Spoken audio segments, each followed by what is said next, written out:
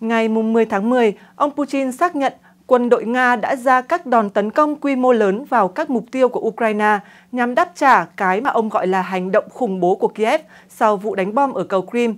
Vụ đánh bom ở Kiev và nhiều thành phố khác ở Ukraine của Nga đã khiến 19 người thiệt mạng và hơn 80 người bị thương. Phản ứng của ông Putin đưa ra hai ngày sau khi một vụ nổ bất thường đã phá hỏng một cây cầu chiến lược nối Nga với bán đảo Crimea. Moscow cáo buộc Ukraine đứng sau cuộc tấn công này. Theo ông Putin, Moscow sẽ sử dụng biện pháp quân sự cứng rắn để đáp trả bất kỳ cuộc tấn công khủng bố nào của Ukraine trên đất Nga. Trong khi đó, cựu Tổng thống Nga Dmitry Medvedev tuyên bố loạt cuộc không kích của Moscow vào Ukraine hôm 10 tháng 10 chỉ là tập đầu tiên và cảnh báo những đợt tấn công tiếp theo. Đồng thời, ông cáo buộc chính phủ Ukraine hiện tại theo mô hình phát xít và sẽ làm mối đe dọa thường xuyên trực tiếp rõ ràng đối với Nga. Và vì vậy, theo ông, ngoài việc bảo vệ người dân và biên giới đất nước, mục tiêu các hành động trong tương lai của Nga nên là dỡ bỏ hoàn toàn chế độ chính trị của Ukraine.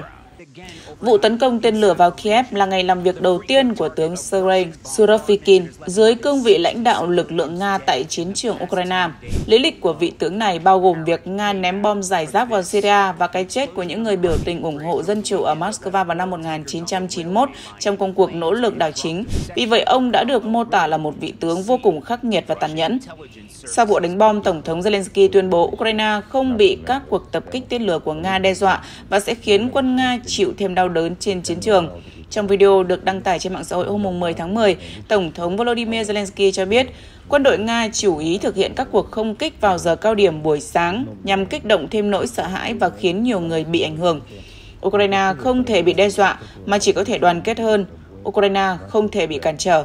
Trong khi đó, ngày hôm qua, trong trận pháo kích của Nga, người dân Kiev trú ẩn khỏi trận pháo kích hát cho nhau nghe trong tàu điện ngầm. Họ đã vượt qua thời kỳ khó khăn bằng cách ca hát. Tại nhà ga Nivki, những người trên cầu thang đã hát bài hát quốc ca Chervena Kalina. Bài hát đã trở thành biểu tượng của cuộc kháng chiến của người Ukraine chống lại sự xâm lược của Nga.